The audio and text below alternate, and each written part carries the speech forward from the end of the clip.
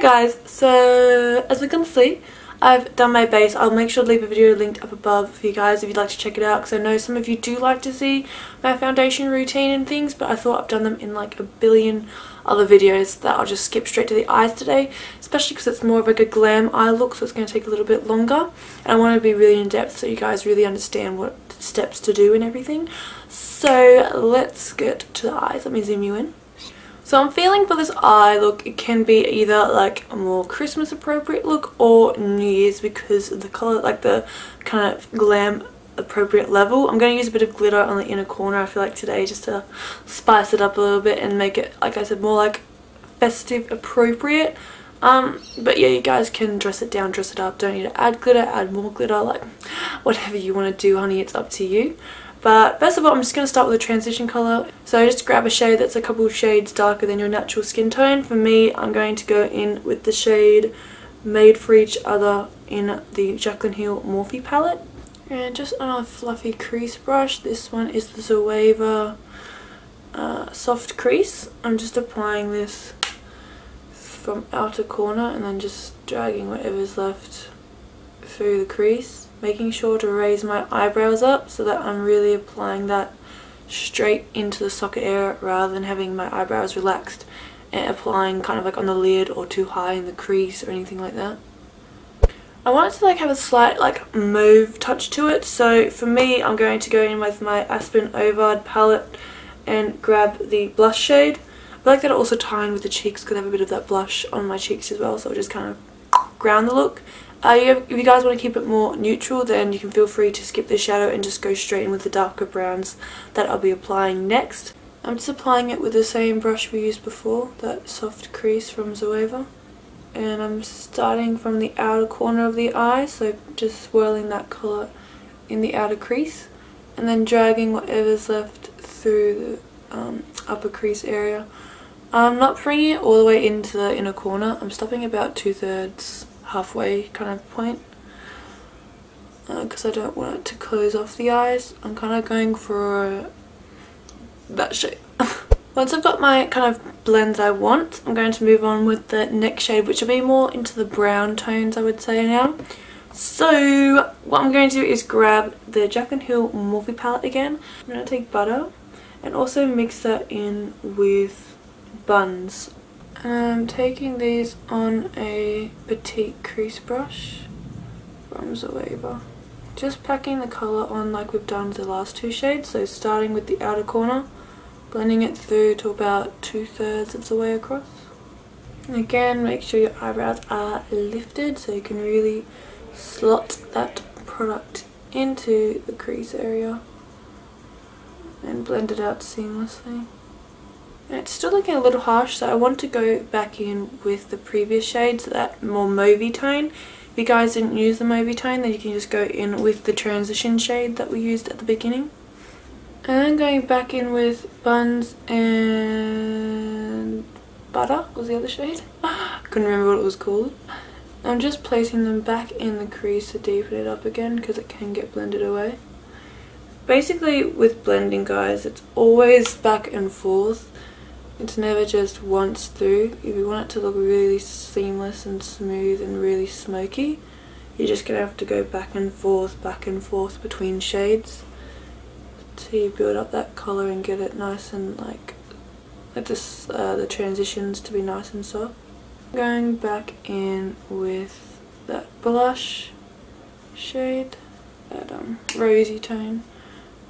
Uh, I'm just going to soften the edges again just slightly.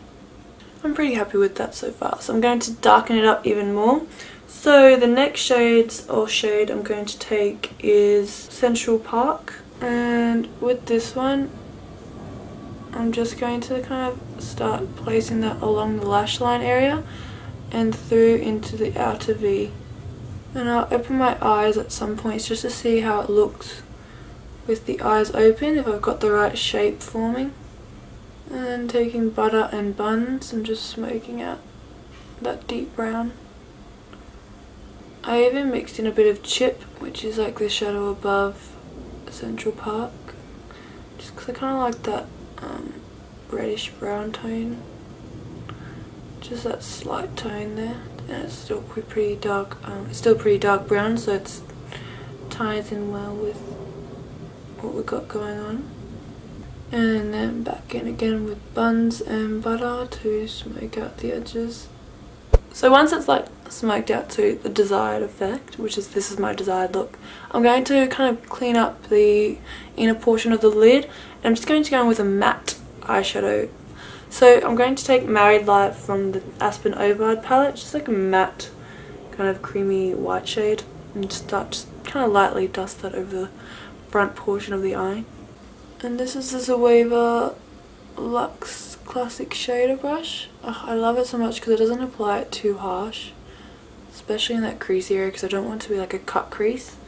I just want like a light little dusting of this really beautiful shade beautiful and then go back in with a bit of butter and buns and just softly like mesh the white into those into into that deeper outer point like just very lightly now next before we go in with like the black on the outer point because I do want it to be like slightly darker on the outer portion of the eye I'm going to first of all do like a little wing along the lash line not a wing per se more just like a liquid line along the lash line just to kind of deepen up those lashes for the extravagant falsies that we're going to go in with.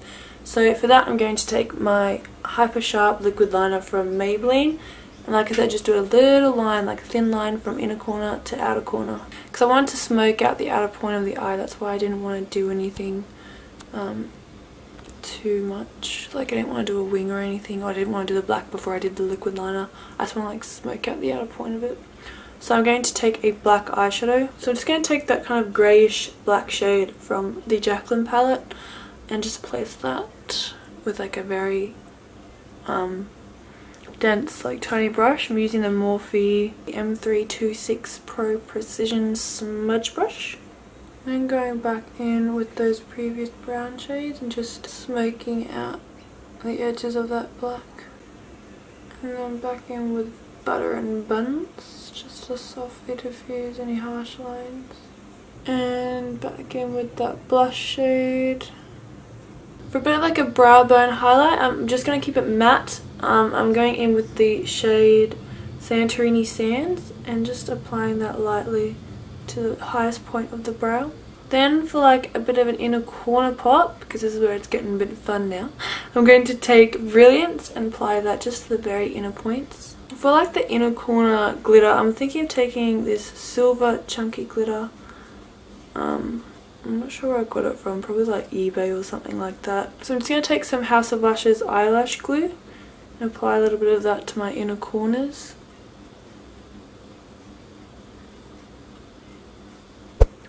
So I went ahead and applied lashes as well. These are the A. These are the sultry lashes from Annytude. I just wanted something really extravagant and super fluffy. Plus you can see they're a bit shorter on the inner corner and longer on the outer corner. So they complement that eye shape that I wanted to kind of go with. Um, and as you can see like the glitter just looks so flipping good with these colours. Like, oh, I love this look. I also went ahead and applied some black eye kohl in my tight line and I'm going ahead I'm going to go ahead and apply that to my bottom waterline as well. I'm just dragging a smidge bit of that under the bottom lash line, just on the outer point of the eye.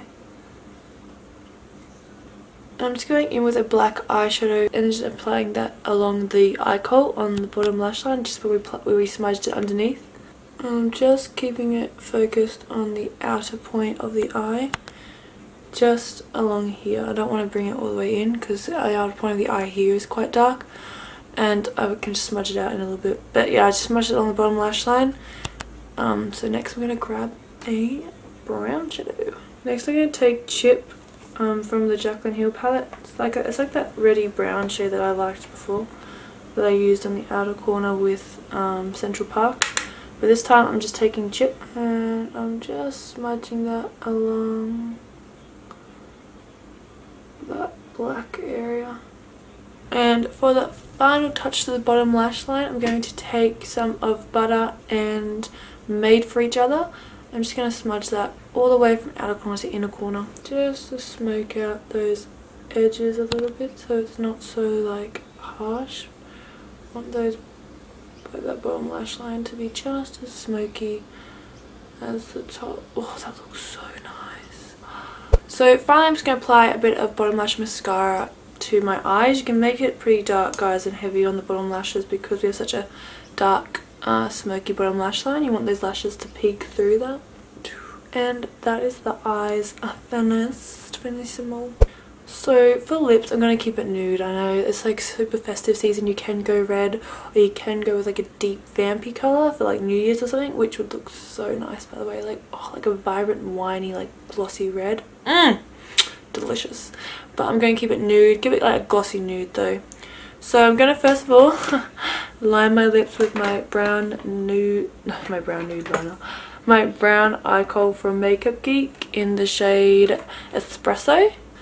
And I'm going to go over top with my Pale Plethora liquid lipstick from Zoeva. It's like a pinky nude. I freaking love it so much. And then I went over top with my lip gloss from Bourjois Paris in the shade Rose Romantic. So I hope you guys enjoyed today's makeup look today. It's on this like very New Year's Eve I would say more so. Or you could wear this on Christmas. Like I said, depends when I get this video up. Hopefully I get it up on Christmas Eve before Christmas so you guys have the option to wear it or at least prep time before New Year's. We'll see how we go. Make sure you give this video a big thumbs up if you did enjoy it and subscribe down below to my YouTube Bam Bam. I'd love to see you guys in my next tutorial. Otherwise have an amazing day. I love you all so so much and I'll see you very soon. Bye.